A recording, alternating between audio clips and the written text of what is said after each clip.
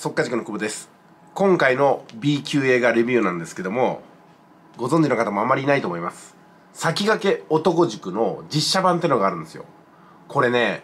主演の剣桃太郎がなんとあの坂口拓さんがやってるっていうのはね私つい23日前に知りましたよ。1週間ぐらい前か。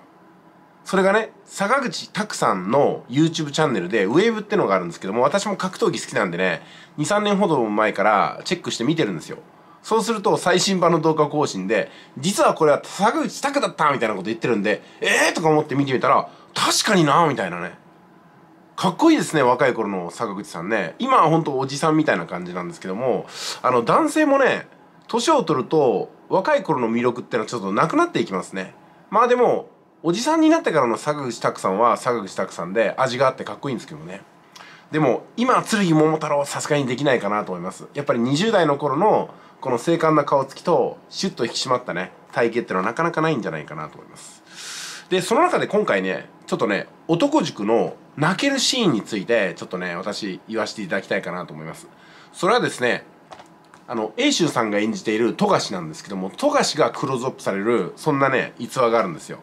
あのストーリー全体的にはなくてもいいエピソードだったんですけどもこれをね入れてくるのが坂口拓さんのね男塾魂だなと思いました。じゃあどんなエピソードかちょっとね簡単にお話しします。それはねある時富樫のところにラブレターが届くんですよ。で、えー、男塾のメンバーはやっぱりね騙されてるんじゃないかみたいな感じでからかうんですけども実際にラブレターに書いてある待ち合わせ場所に行くとものすごく可愛いね美少女がやってきてでいい感じになるんですよね。で富樫がねは一発で惚れちゃうわけですよ。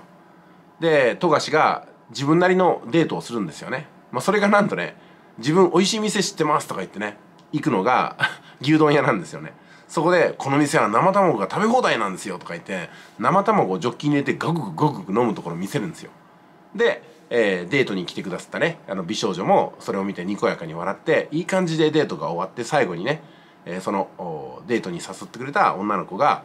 富樫君にこうキスを求めるんですよね。で富樫君が目を閉じてねキスをしようと思ったらなんか様子がおかしいと。ね美少女のクラスメートがみんなでね富樫を笑うんですよ、うん、で結局これ騙されていたんですよね。で富樫はものすごくショックを受けるんですけどもそこに乗り込んできたのがそれまでねどっちかっていうと富樫のそのラブストーリーをからかっていた男塾のメンバーなんですよ。この野郎お前いい加減しろみたいな感じで殴りかかってくるんですけどそれを止めてね富樫が「いいんだよ俺が女になんか付き合えるわけねえだろ」とか言うわけなんですよ。いやそこら辺もねちょっとね何や節なんですけども最後に自分をからかって騙した女の子たちにね「俺今日本当に楽しかったですよ」ってねこう去っていくんですよ。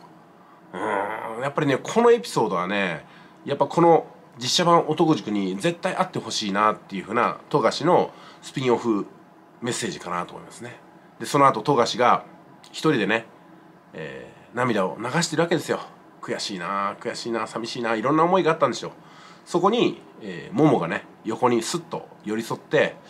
「富樫帰ろうぜ男塾へ」みたいな感じでね、えー、語りかけるんですよね。で富樫とモモがかっこいい後ろ姿で2人でね男塾に帰っていくシーン。そこに男塾の他の虎丸とかね、えー、田沢とかね松尾みたいなメンバーも入ってきていつもの男たちにこう帰っていくみたいなね。なんかやっぱりあいいなこの男塾魂といいますか大和魂というかね。これだよなと思いましたよね、